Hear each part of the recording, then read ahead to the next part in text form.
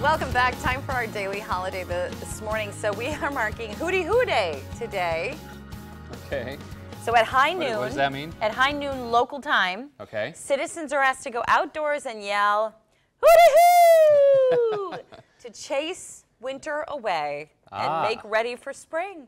One month I away. like it, yeah. Spring is one month away. It is.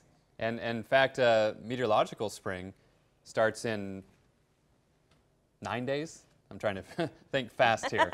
nine days, yes. In nine days. Yeah. But official spring. Right. Astronomical spring, not until uh, March 20th or 21st. one month away. Yeah. So noon today, I'm gonna go like this outside, and I expect a lot of you to, to head out and All right. hoodie